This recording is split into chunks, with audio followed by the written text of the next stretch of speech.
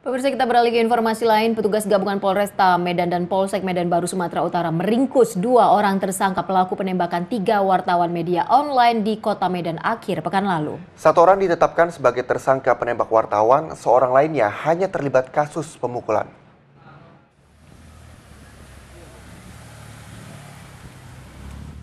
Polisi kembali meringkus seorang tersangka penganiayaan dan penembakan terhadap wartawan selasa pagi.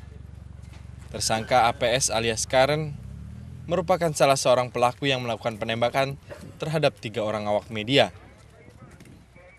Tersangka APS alias Karen diringkus petugas Polsek Medan Baru saat bersembunyi di rumahnya di kawasan Kampung Kubur, Jalan Zainul Arifin, Medan.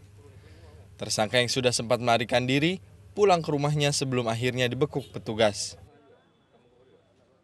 Tersangka APS alias Karen mengaku ada dua orang yang memegang senjata api. Karen melepaskan empat kali tembakan pada saat kejadian. Namun dirinya berkilah tidak mengetahui siapa seorang lagi yang memegang senjata api. Berapa kali kau lepaskan tembakan? Empat kali. Empat kali. Terarah ke tiga orang. Enggak. Jadi, Jadi? yang nembak berapa orang? Yang tembak siapa Niko? Enggak tahu aku. Aku pun enggak tahu siapa.